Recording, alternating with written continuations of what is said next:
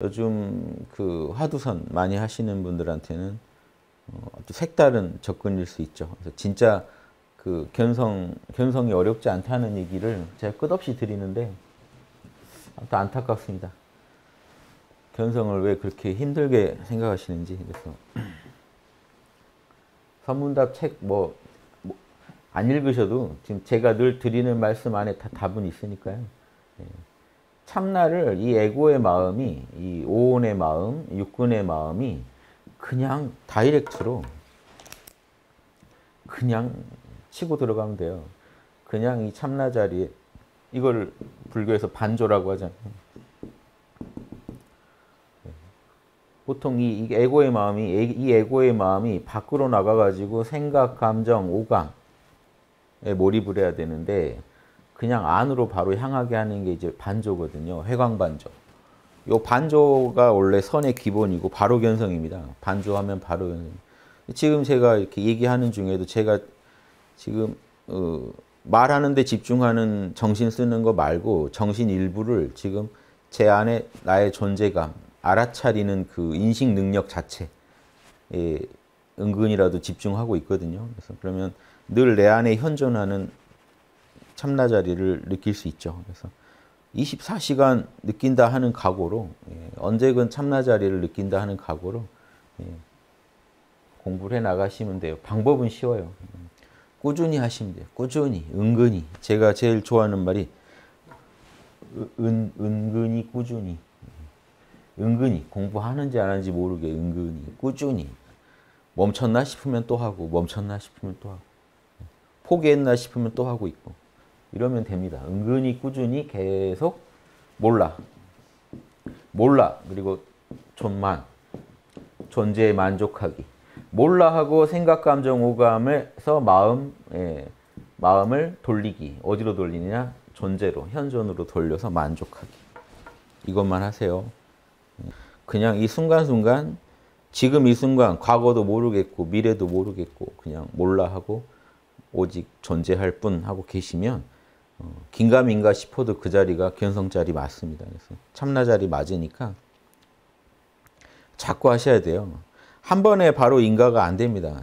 예. 그 자리가 맞아도 의심이 나요. 에고는. 그래서 자명해질 때까지 은근히 꾸준히 계속 한 번에 인가되면은 그 선문답할 때도 바로 알면은 제일 좋죠. 바로 알면 어 아주 상근기도 하지만 상근기 아니어도 바로 몰라도 됩니다. 그래서 예, 일주일 일주일 잡고 몰라 하시면 반드시 견성하실 거. 일주일 해도 안 되면 그때 가서 말씀 나누죠. 은근히 꾸준히. 예. 은근 꾸준 몰라 존만. 예, 딱 좋네요. 은꾸 몰존. 은근히 꾸준히 몰라 존만. 이러고 견성 못하면 그 바본가요? 큰일이죠, 이건. 단박 견성을 한 것 같아도 인가하기가 어렵습니다. 그러니까 인가 될 때까지 계속 하시는 거예요. 자명해질 때까지. 뭐 이건 뭐 너무 지당해서 할 말이 없네 할 때까지 하시는 겁니다. 인가가 잘 안 되는 거는 내면에서 뭔가 찜찜한 게 있으셔서 그래요. 이건 아닌 것 같은데 하는. 근데 그럴 때 괜히 방황하지 마시고 몰라를 더 하시라는 거예요. 저는 어, 진짜 권합니다. 몰랍니다. 몰라만 하면 바로 참나자리입니다. 이거는 공식이에요. 여러분이 생각, 감정, 오감을 몰라 하시면 바로 그 자리가 여러분이 원하건 원치 않건 마땅하건 마땅치 않건 그냥 참나자리입니다. 여기에 대해서 또 의심을 일으키니까 또 생각, 감정, 오감을 일으키니까 문제인 거지. 그냥 그 자리가 이 자리가 그 자리인가 보다 하면 예, 참나 자리 맞습니다. 인가하는 건요. 몰라를 충분히 하다 몰라를 하다 보면 참나를 이 에고가 만난단 말이에요. 몰라를 하면 참 참나를 에고가 만나요. 에고가 참나를 충분히 만나면 에고 말이 나와요. 에고가 생각으로 말을 해요. 이게 참나구나. 이게 에고랑 다, 뭐가 다르구나. 그냥 다 나와요. 체, 체험을 자꾸 시켜주면 이 에고는 반드시 그걸 개념화합니다. 여러분이 뭐 하려고 안 해도 그냥 이건 이런 거구나. 예. 생각이 분명히 에고가 생각으로 정립을 합니다. 참난 어떤 물건이고 에고는 어떤 물건이고 왜 이게 이 자리가 공하다고 하는지 왜 이 자리가 그 참나 자리인지 여러분 다 압니다. 에고가 이해해요. 그걸 도와드리는 게 생각을 정리할 때 어떻게 하라고 제가 권하죠? 처음에 아공의 진리를 어, 에고가 무상고 무하구나. 참나는 영원하구나. 법공 어, 일체 현상계 에고 작용이 사실은 공성 참나의 작용이었구나. 구공 공 안에 육바라밀이 갖춰져 있구나. 요 세 가지만 알면 되잖아요. 생각으로 정립합니다. 근데 먼저 직관이 필요해요. 참나를 만나야죠. 참나를 만나면 거기서 직관이 오고 그 직관 받아가지고 생각으로 분석을 해내셔야 돼요.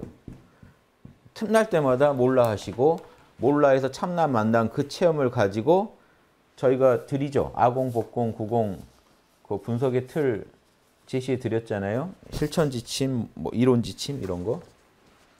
홍익당 카페에 다 올라와 있으니까 예, 제 강의 때 뭐 끝없이 말씀드렸고요. 아공, 복공, 구공에 대해서 어, 몰라 해서 하루에 난 백수다 할 일 없다 할 때 더 좋고요. 하루에 그냥 하루에 반은 몰라 하세요. 반은 연구해 보세요.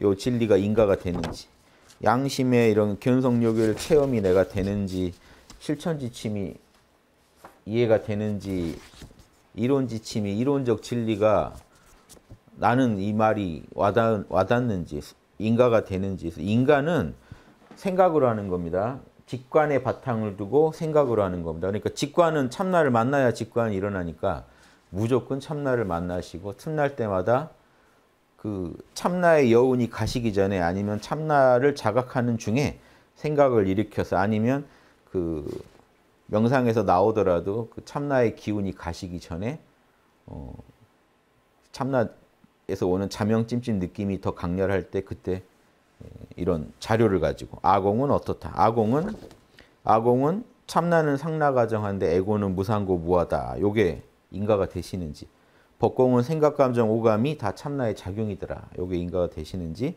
구공은 참나에는 육바라밀의 근본 원리가 갖춰져 있는데 그게 우주 최고의 진리고 선악의 기준이더라.